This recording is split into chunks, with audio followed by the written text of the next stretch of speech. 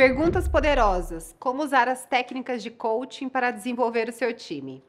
Eu falei no vídeo anterior sobre a escuta ativa, que é uma coisa super importante para a gente poder praticar empatia, garantir alinhamento, garantir que a gente de fato está ouvindo e compreendendo o que as pessoas estão falando. Mas tem uma ferramenta que a gente sabe que é muito conhecida no mercado, que é o coaching ou as técnicas de coaching. Eu não estou aqui sugerindo que você, líder, conduza um processo de coaching para desenvolver seus liderados. Não é essa a ideia, porque eu não acredito que isso possa ser feito internamente do jeito que um coach externo possa fazer. Mas nem por isso você não pode tirar proveito das perguntas poderosas, que são, na verdade, uma das ferramentas que a gente utiliza para fazer com que o coach, né, traga informações, se escute, né? É, é muito importante quando a gente fala em voz alta aquilo que a gente está pensando. Isso por si só já ajuda a gente a refletir, entender, algumas fichas caem aí quando a gente percebe que a gente está pensando alguma coisa que está fora do contexto, quando a gente se escuta numa visão mais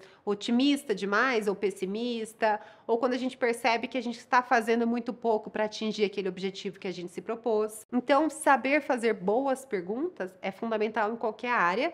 E claro que ela também é fundamental no desenvolvimento de pessoas. Então, eu trouxe aqui grupos, né, vários agrupamentos de perguntas para te ensinar a lógica, para te dar repertório. Então a minha dica é que você, de fato, possa anotar aí essas perguntas. Seja no seu bloquinho de anotações, no seu caderno, ou algum app que você utilize e que você possa lançar a mão quando você estiver tendo conversas com as pessoas do seu time. Essas perguntas você vai poder adaptar ao contexto, você pode usar numa reunião com a sua equipe, com mais pessoas, ou você pode usar em reuniões individuais, em one-on-ones de performance, one-on-ones de carreira, aqueles momentos em que você precisa dar um feedback, mas você também quer que a pessoa chegue à conclusão junto com você. Então, naquele momento em que a gente quer mais mais do que só dar o feedback, a gente quer ajudar a pessoa ou influenciar também, né, para que ela chegue em determinada linha de raciocínio sobre a atuação dela. Então, sem mais delongas, vamos lá entender que tipo de perguntas são essas. Eu dividi em alguns blocos. Tem perguntas sobre o futuro,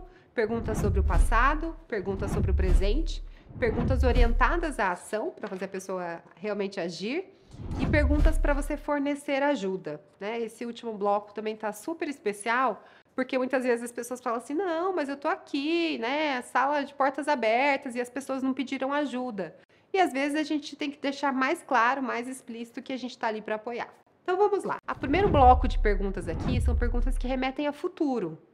A gente precisa ajudar as pessoas também a criarem algumas visões. Então, por exemplo, uma das perguntas que você pode fazer é: como será diferente quando você tiver uma solução para esse problema que você está me trazendo?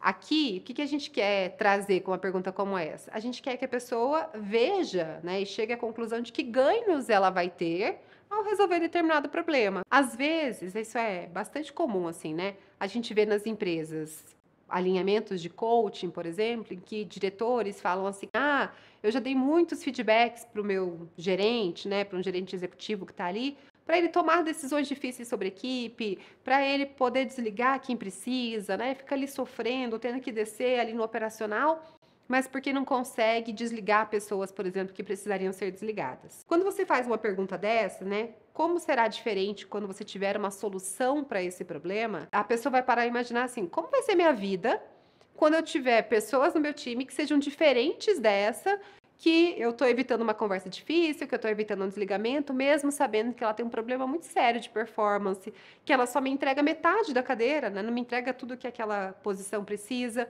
Então você já consegue começar a mostrar para pessoas vantagens de encarar uma situação que ela eventualmente está fugindo. Aí outras perguntas de futuro.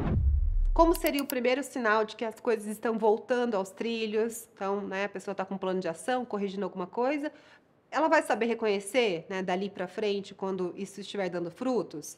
O que aconteceria se você reduzisse as suas expectativas sobre isso?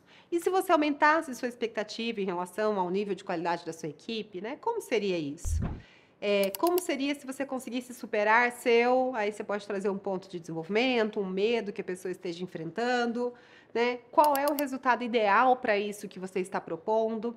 Então, isso ajuda a pessoa a pensar em cenários e a ideia é que ela pense em cenários e faça avaliação se vale ou não a pena, né? E que isso a mova para ação. Pergunta sobre o passado, quando a gente quer gerar reflexões.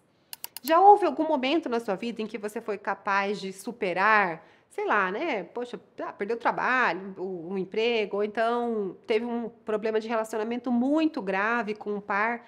Isso já aconteceu alguma vez antes? Como que você superou?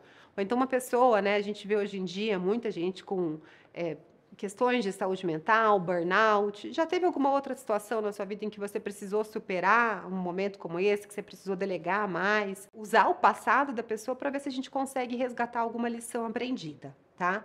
O que funcionou para você no passado?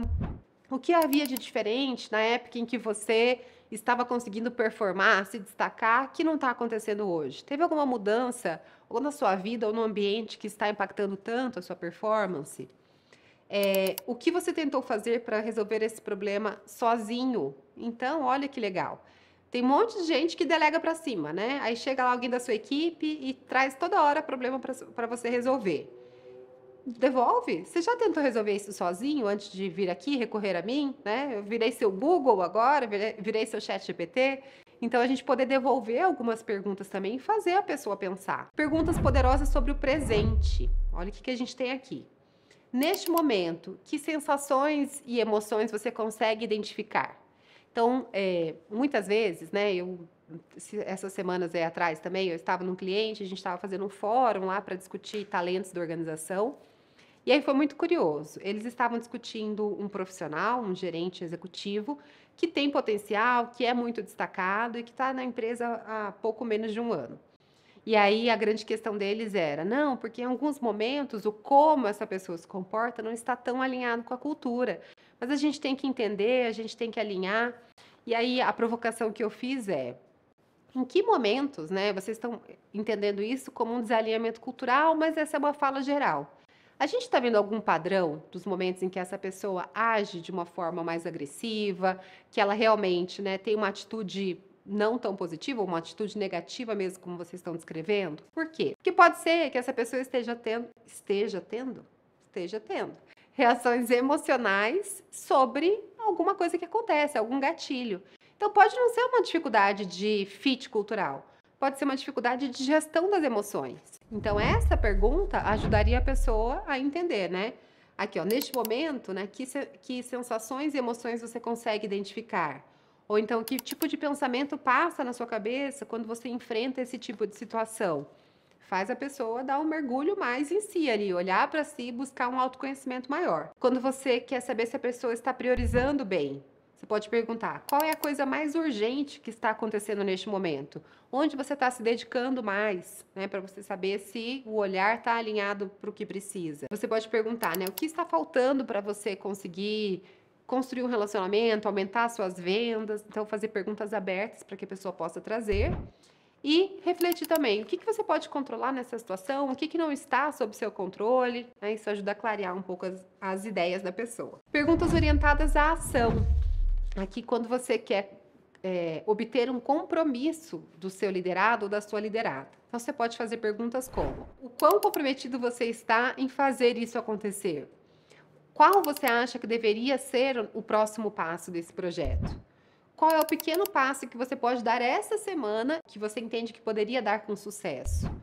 Quando você planeja fazer isso? Então, são todas perguntas que direcionam a pessoa a verbalizar uma ação, um compromisso, a fazer um plano concreto e real. E aí, por último, né, as perguntas que eu falei sobre fornecer ajuda. Aqui você pode trazer perguntas como: como que eu posso te apoiar melhor? Né? Às vezes você está vendo que a pessoa está com dificuldade, você entende que você já ofereceu tudo o que você tinha ali de recurso, pergunta, pede para ela te dizer que tipo de ajuda ela precisa. Refrasear e trazer para a pessoa, pedir uma licença ali para que você possa ajudar, dando um feedback assertivo, no sentido de, eu posso te contar o que, que eu estou vendo, né? o que, que eu estou vendo que está acontecendo neste momento? Então, você pede ali uma permissão e ajuda a ampliar a perspectiva da pessoa. Posso te contar o que eu estou ouvindo? Posso te contar o que eu estou percebendo?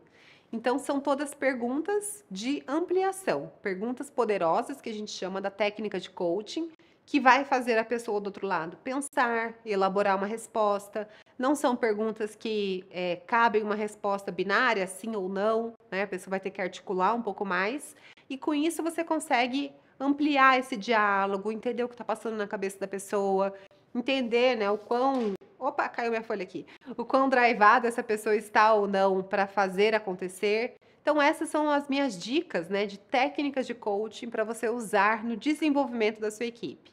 E aí, conta para mim aqui se você já utiliza perguntas abertas, se você utiliza essas perguntas poderosas no seu dia a dia. E se tem alguma situação que eu não abordei aqui, que você queira uma ideia minha, pode colocar nos comentários que eu te respondo. Até o próximo.